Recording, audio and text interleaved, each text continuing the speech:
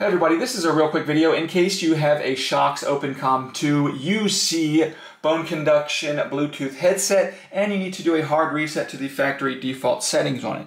Now you're going to want to do this reset for one of two reasons. The first one is troubleshooting in case you're having any issues with this headset not connecting to your phone or other device or not syncing or not pairing with Bluetooth or any issues like that where it's not connecting, not working. A factory reset can fix a lot of those issues. Now the second reason you might want to do this is just any situation where you want to get a fresh start, you want to delete all the pairing history and settings off of it, so you can set this up basically like it's new coming out of the box.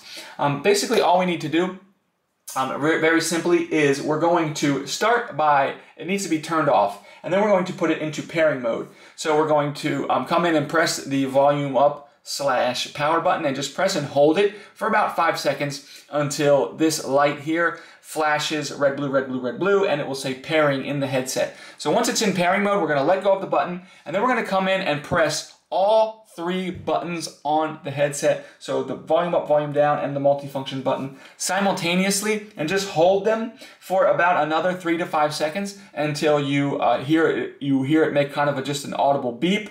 Um, at which point that means that the headset is reset. All you need to do now is come in using, using the power button, turn it off, turn it back on, and you can set it up like a new headset.